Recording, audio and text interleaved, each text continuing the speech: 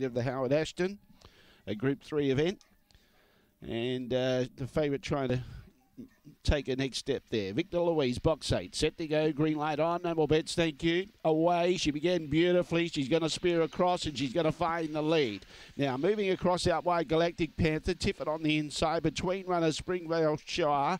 Uh, they got clear of the others. Uh, back into fifth placing was Blessed in Black trying to stoke up. Then Madam and at the tail Assertive Fury. Out in front, Victor Louise. She's done everything right. She's clear by six lengths. Chasing hard is Springvale Shire in second placing. Uh, then in third placing behind those was Galactic Panther. That should be your finishing order.